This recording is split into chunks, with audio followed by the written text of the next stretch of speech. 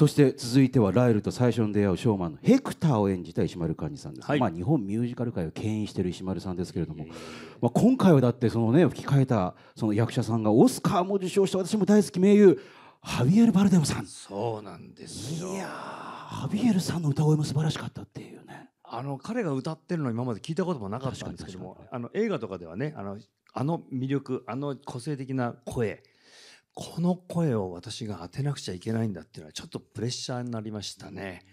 ただあのナンバーがすごくいいのでこれ歌ってるうちにだんだん楽しくなってきてそれこそあのオーディションの段階でこの役勝ち取りたいなっていう思いで最後は念じながら歌いました。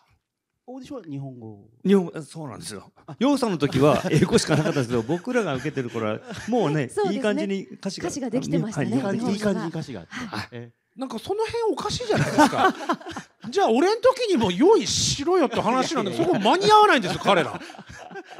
日本のスタッフが間に合わないっつうんですよ。ハードルが高い状態で受けたんだよね、うん。英語で私。でもほっと石丸さんですらもほっとしたわけです。あ OK が出たやっぱりそうですね。あのこういう映画に声を当てる話っていうのは必ずオーディションがあるので、そのはいジャッジは向こうが決めるんですよ。だからもうこれはもう賭けみたいなもんでしたね。そうです彼の声に寄せていけばいいのか、自分らしさを出せばいいのかも自分で考えなくちゃいけない。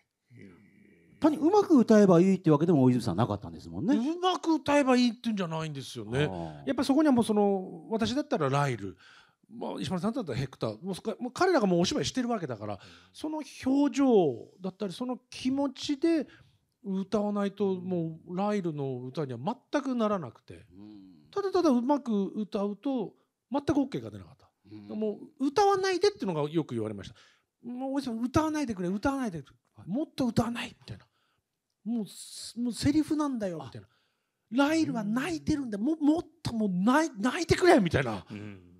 こんなに演出私山田洋次さんでもこんなに演出されませんでしたいやえ？あの巨匠よりも巨匠山田洋次さんよりも一ノ瀬さんの方がきつかったです。そうですか。ああ今回のね。一ノ瀬さんの方がもう演出が難しかった。はあ水木さんもね、はい。歌としての活躍も本当に皆さん知ってるところだと思いますけど今回はえプリムを演じられました。あの歌手としても輝かしいキャリアでありながらなんか実は実写ミュージカル映画の吹き替えは初挑戦ってちょっと驚きましたけども。はい、こそうなんです。いかがでした今回？いや難しかったんですけどすごく楽しかったです。あの私たちあの石丸さんもそうなんですけど大泉さんのお声が先に収録されていてそれを聞きながらデュエットさせていただいているのでもう導いていただいたっていう感じですね。もいやごめんなさい石丸さん水水木さんっていうね日本を代表するそのねシンガーから見て大泉洋さんの歌声正直どうだったんですか？チャーう素ミングで晴らす。しい。もうもうライルとしてそこに存在しているかそうら。なんですよ。あのなさいまんざらじゃない顔してますよ今なんか いや逆にねここでねうーん大したことないですよ言わないですよ。いやまあそれも褒めてもらうしかないここはもう申し訳ないけどね。いやでもチャーミング。いやまさしくねあのライルの子供のところから私出会う設定なんでその子供の歌ってる声を大泉さん当ててるんですけどもこんな声出されるんだそうなんですよ。すごいハイトーンなんですけどうん。キュートで。高いんですよ。あ高いですよね私そうです見ましたけども。うん。ですからあれはね私があのマイケルのモノマネしなかったら出なかった声ですね。それって今やってもらえるってことですか？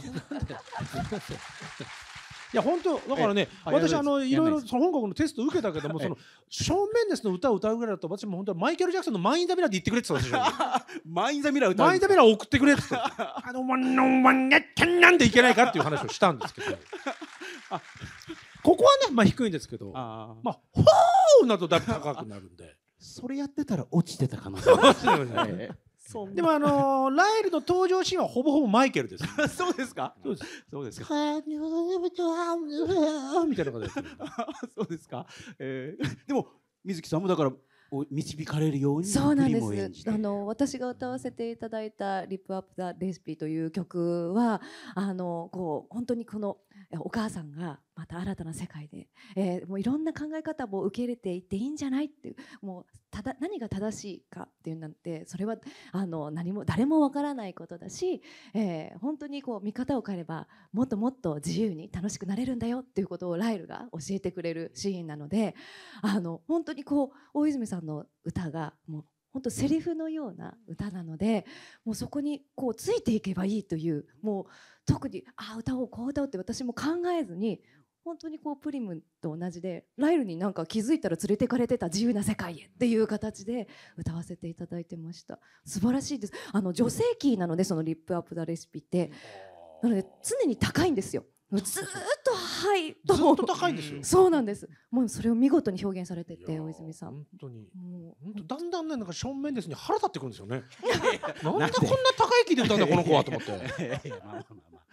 いや水木さんでも本当すごいです。あのもう本当にあのなんですか？そのもうあのふ字幕で見た時の声と一緒なんですよ。すごいなと思ってね。ぴったり寄せてますよね。本当にやっぱり声声優さんです優よっていうのは本当す。ごいなと思って聞きました。うん。あとライルってねこう可愛いワニが出てくるからもちろんファミリームービーでもあるんですけど私まあ拝見しても大人でもねやっぱラスト泣きましたよ。あのライルの歌。グッときますよね。いや泣い。たストーリーも素晴らしくなかったですか今回っていいですよ。あのねちっちゃな子供が一生懸命ね、頑張ってるところやっぱりそこのねやっぱライルは一緒にいたいっていう思いでね、うん。ここれから見るんですもんね。うん。まさかエンディング前言おうとしましたよね。危ないですよね今。あんまり言っちゃダメなんだ。いやいやいやいやいや